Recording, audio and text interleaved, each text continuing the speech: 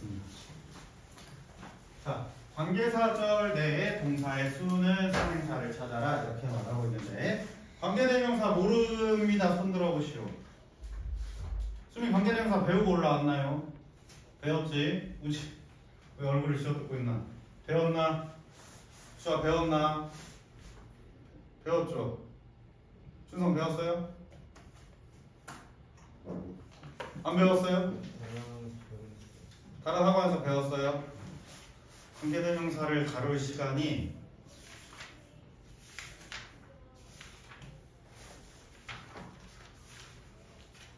없는데 어? 항상 했지? 했네 맞아 우리 후반부에 있지 죽었어 어?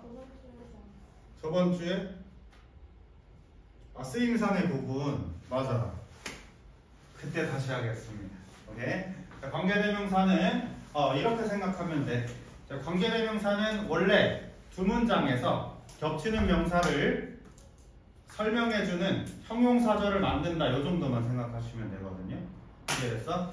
관계대명사의 수일치는 선행사만 찾으면 된다라는 건데 여기서 수일치를 하겠다라고 하는 거 그럼 여러분이 이해할 수 있게 쌤이 이 예문으로 간단하게 얘기해 보겠습니다. 알겠죠? 자, 예문 두 개, 어, 문장 두 개 쓸 거야. The program was designed to recover photos and they were deleted by mistake. 자, 이렇게 된 두 문장을 연결하고자 하는 것이 관계대명사가 될 것이다. 오케이? 자, 관계대명사는 그럼 지난주 했으니까 몇- 뭐 플러스 뭡니까?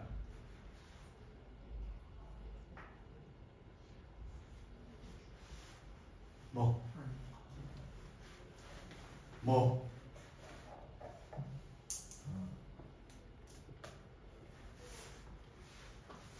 뭐? 자, 다른 학원에서 뭐라고 배웠습니까? 선행사요? 쌤이 관계대명사는 관계대명사가 아니라 무슨 대명사라고 했어? 접속대명사라고 했지. 접속사 플러스 대명사라고 했어. 오케이. 자, 이거 합쳐가지고 they가 지금 photos 받아주고 있는 거잖아. 그래서 요거 합친 상태를 여기다가 붙여주는 것이 관계대명사다라는 것이다. 그럼 관계대명사의 수일치는 주격관계대명사에서 선행사를 찾으시면 된다는 겁니다. 오케이? 이 photos를 대명사로 받아줬기 때문에 원로 수 일치가 되듯이 주격 관계대명사에서도 선행사에 따라서 수일치를 해주시면 된다는 게 요것의 목적이다. 간단하죠? 어. 레알 간단한 거 맞아. 오케이? 어. 관계대명사 때 한 번 더 얘기할 거예요. 오케이? 그때까지 될지 모르겠지만 될 것이다.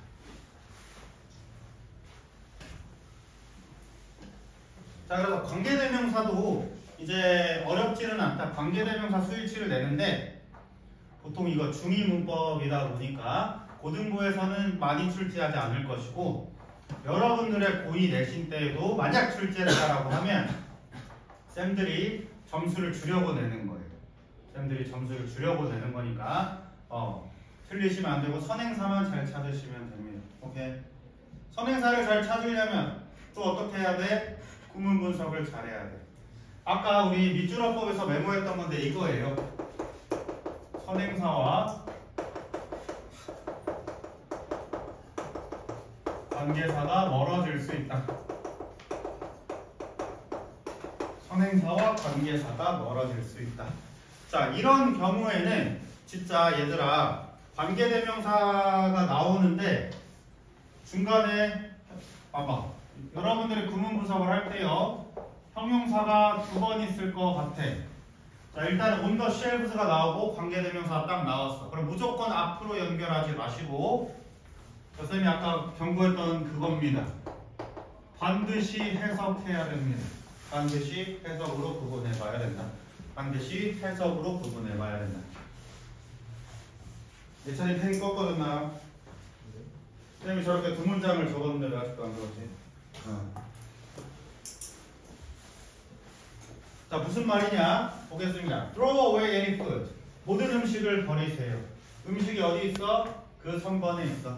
그 선반에 있는 모든 음식을 보- 버리세요. 다음 볼게요. 이상한 냄새가 나는 선반에서의 음식을 버릴 거야. 아니면 선반에 있는 이상한 냄새가 나는 음식을 버릴 거야.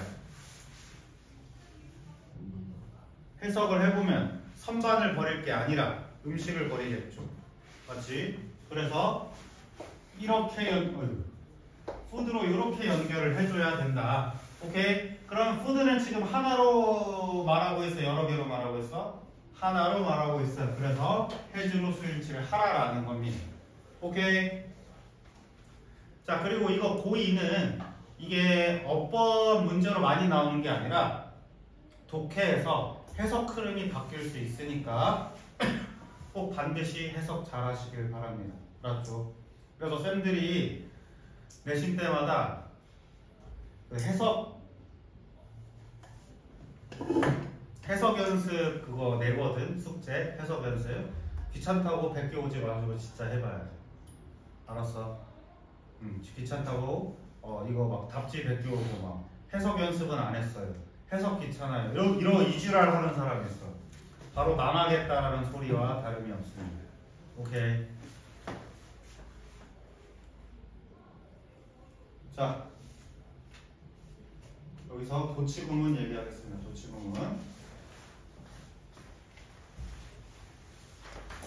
자, 도치구문을 하기 위해서 자 여기서는 조금 내용이 어려워질 수가 있는데 세 개만 지금 보고 나- 어, 하- 보게 되면 아마 모든 게 끝이 날 건데 아직 안 끝났군요. 오늘은 여기까지만 수업할 거거든요. 그 도치구문에 대해서만 어, 바로 끝내는 거 아니에요. 윤경이가 좋아했던 것 같은데. 음. 자 일단은 부사구 도치에 대해서 알아둬야 될 건 뭐냐? 자, 첫 번째로는 자, 쌤이 수업 시작할 때마다 시비 거는 건 뭐지? 단어예요, 단어. 수업 시작할 때마다 시비 거는 거 단어. 그래서 시비 오늘 걸릴 사람 누구였지? 이주하였네요, 이주하. 그리고 조금 아쉽지만 박준성이었네요. 음, 이렇게 시비를 거는 이유가 뭐냐? 그리고 우리 학원이 왜 품사만 틀려도 안 봐주냐? 품사를 알아야 이게 되거든. 오케이? 자, 여기서 어휘 알아두셔야 됩니다. 부사고 도치를 하기 위해서. 어떤 걸 알아야 되냐? 자, 부사 자체의 뜻도 알아야 되겠지만 각종 전치사도 알아야 돼. 오케이? 각종 전치사도 알아야 돼. 예를 들어서 어,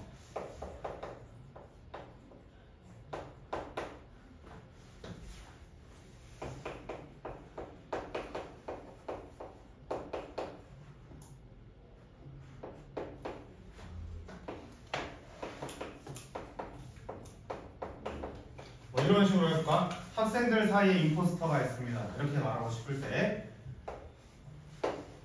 이거 뭔 말인데? 이거 알아? 어몽이라는 뭐뭐 중에서의 옛날 말이에요. 이런 어휘 알아두셔야 돼. 근데 만약 몰랐다라고 하면 어몽스터 스티련이 임포스터? 뭐지? 뒷문장이 완전하네. 동격인가? 이지라 할 수 있단 말이에요. 오케이? 아니면 아 어몽스트로 이끌어지는 이거 뭐지? 어, 내가 모르는 준동사인가 보다 해서 이렇게 할 수도 있다라는 말이에요. 오케이? 그게 아니라 얘는 명백하게 전치사가 이끌고 있는 부사구입니다. 부사구. 오케이? 그래서 이렇게 구문 분석해줘야 된다라는 거. 어휘력이 돼야 온다라는 거. 알았지? 그래서 공부 똑바로 안 한 친구들 이럴 때도 있어. In the backseat of the car next to mine 이렇게 했을 때 아, 동명사랑 투부정사랑 어, 명사절은 단수 취급을 하니까 이 전치사가 이끄는 말도 단수 취급을 하겠군 이렇게 소설 쓸수 있습니다. 오케이? 아니야. in이라고 하는 건 명백히 전치사라는 거 알고 있어. 오케이? 알고 있었나요? 모르고 있었나요? 알고 있었어요? 모르고 있었어요? 모르고 있었어? 인이라고 하는 거 다른 뜻 있어요? 전치사입니다. 전치사. 오케이? 전치사라고 했다라고 하면 그냥 아 전치사 걸르세요 묶으세요 오케이 아 전치사가 먼저 나왔다면 도치가 발생됐구나 라고 생각을 하라는 겁니다. 이해됐죠? 자, 그래서 two sweet little boys 두 명의 귀여운 소년들 이렇게 말하고 있대. 자, 단수 취급을 할 수 없고 복수 취급을 했었어야 된다라는 것이고 그리고 우리 일산에서 제일 많이 선택한 고위 교과서가 능률기임으로 기억하고 있거든요. 능률기임 영어 1에서 바로 나와요. 이 부사고도치 바로 출제할 겁니다. 1학기 내로 바로 나올 것이다. 부사고도치 보여줄 거거든. 그래서 그거 반드시 꼭 기억해 주셔야 됩니다. 알았죠? 어휘력이 되어야 한다. 알았죠? 어. 여기다 봐봐. near the hospital 이렇게 가지고 아 near 가까이 아 그, 그 병원 가까이에 있는 것, 이지랄 하는 순간 망하는 거야. 오케이? 이 아니라 니어가 이끌고 있는 부사구입니다. 오케이? 그래서 뒤에 주어가 있다는 거 알면 알로 수일치해야 된다. 이해되셨습니까? 오케이? 수미 놓쳤죠? 자, 다시, 다시 보여드릴게요, 수민. 자, 니어를 형용사인 줄 알고 대신 아 지시 대- 지시 형용사구나. 아 그러면 가까이 그 병원은 가까이 그 병원이 말이 돼요 안 돼요? 안 돼. 이렇게 할 게 아니라 니어는 무- 명백히 전치사기 때문에 이렇게 분분석을 해서 뒤에 있는 주어를 찾아주셔야 된다라는 것이. 이유준 할 수 있겠습니까? 예. 자, 그 다음 대상의 부정어구 도치. 우리 작년에 너무나도 많이 고통을 받았습니다. 고통을 받았는지도 기억 안 나시죠? 부정어구 도치, 무조건 영작 출제하는 것 중 하나. 민경이네 봤나요, 부정어구 도치?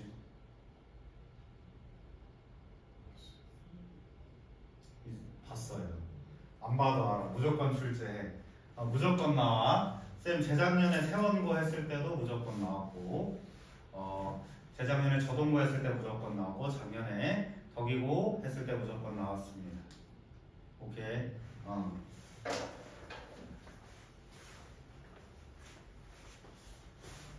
자, 부정어구 도치는 일단 여러분들이 쓸 줄 알아야 되거든요. 이거 얘는 이거 적어버리자 그냥. 영작 빈출이다라고 적어. 영작 빈출.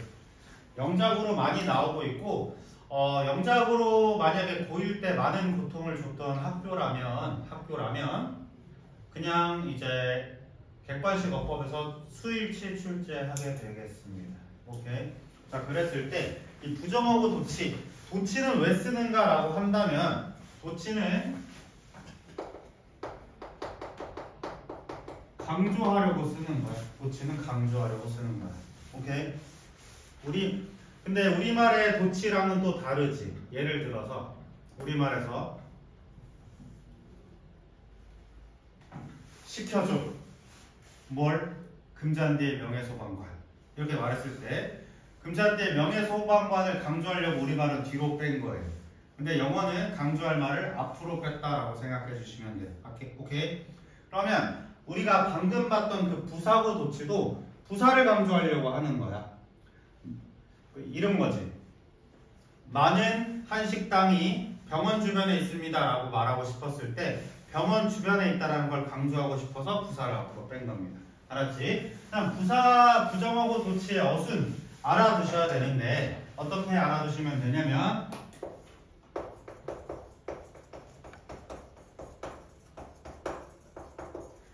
직접 의문문 어순 어순 촬영 안 하고 있는 사람 직접 의문문 어순입니다. 직접 의문문 어순 자 준성 직접 의문문 어떻게 말합니까? 그러게요. 영어로 뭐 물어볼 때 뭐 말 안 해? 이름이 뭐니 영어로 어떻게 해? 아치열 What's your name이라고 하지? What's your name으로 한번 보자. 이게 아니라 자, 원문 적겠습니다. 원문.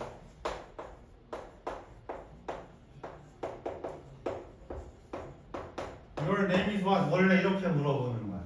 오케이? 그래서 이거 여러분 도치 어려우면 외국인한테 그냥 아는 어순 얘기해 주시면 돼요. where are you going 안, 안 해도 되고 are you going where 해도 돼. 알아들어. 어. 왜? 도치 안 해도 돼. 근데 우리는 문어체니까 도치해야 돼. 글로 쓰는 글이라서.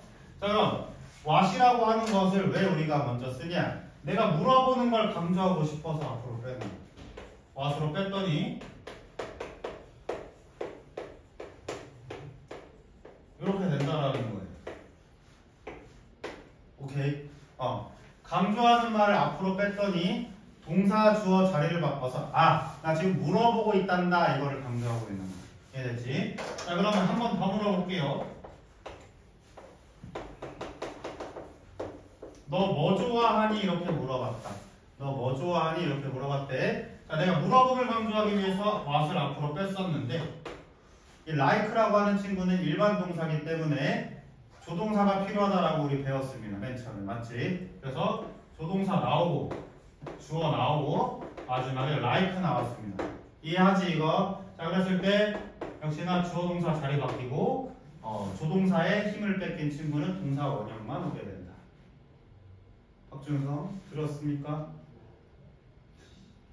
자, what을 앞으로 뺐었을 때 일반 동사여서 조동사가 필요했고 이렇게 주어 동사 자리 바뀐 다음에 모든 걸 뺏긴 동사는 동사 원형으로 남는다. 오케이. 이것이 직접 의문의 어순이었어. 그럼 이 친구도 쌤이 원문을 한번 적어볼게요. 원문. 밑에 여러분 원문 적어봐봐.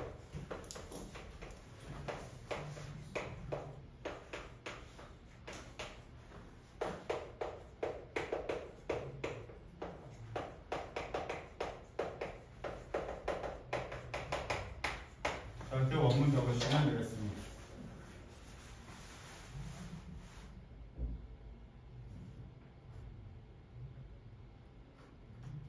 Self-driving cars are no longer considered science fiction 이렇게 말하고 있대.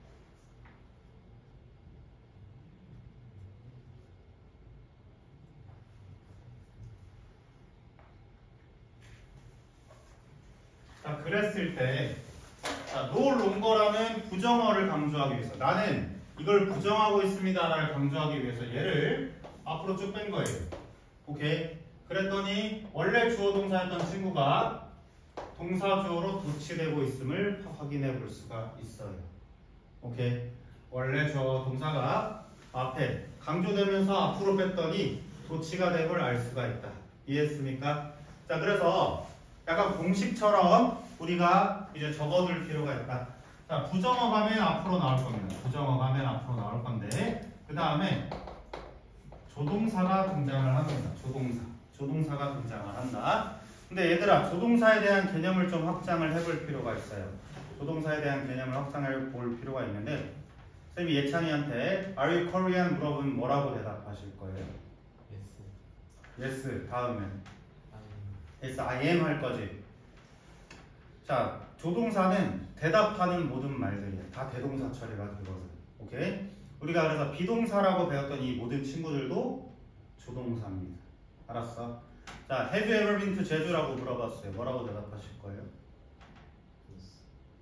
다음. yes, I have라고 대답할 거지. 이 have도 조동사다라는 말이야. have PP에서. 이해됐어? 그럼 조동사 여기 다 적어버릴게요. 자, 비동사. 그 다음에 have 동사도 조동사. 그리고 우리 알고 있었던 일반 동사 도와주는 부동사도 조동사. 그리고 조동사라고 외웠던 이 일반 조동사들 모두 다 조동사에 해당한다. 오케이? 그 다음에 뭐 올 거야? 주어 올 거야. 그 다음에 나머지 어순에 따라서 적어주시면 됩니다. 나머지 어순에 따라서 적어주시면 됩니다. 선생님 원래 그냥 애들이 다 이해할까 봐서 아, 구조주어으로 하세요라고 했는데 바꿔야 되겠어요. 구조주나로 바꿔야 되겠어. 자 그러면 비동사 다음에 어순 그대로 오면 된다라고 했잖아. 비동사 다음에 올 수 있는 건 뭐냐? 보어도 있고요. 진행형도 있고요. 아까처럼 저 PP가 올 수도 있습니다. 오케이? 음. 해부 PP에서는 PP만 올 수밖에 없겠지. 나머지 적어주시면 돼. PP. 그리고 동사랑 일반 조동사는 동사 원형 올 수밖에 없다. 유진 이 해나? 응. 그러니까 앞에 있는 조동사랑 주어만 자리 딱 바꿔놓으면 나머지 그대로 어순대로 적어주시면 된다. 오케이? 여기서도 비동사 다음에 PP 왔었던 수동태인데 다 필요 없고요. 얘 앞에 빠지고 얘 둘이만 자리 바꿨더니 나머지 그대로 어순이 들어오고 있음을 확인해 볼 수가 있다. 자, 이걸로 한 번 더 볼게요. 나던틸이라는 부정어를 앞으로 뺐어. 그치? 그러면 PC라고 하는 친구가 주어 동사만 자리 바뀌었어요.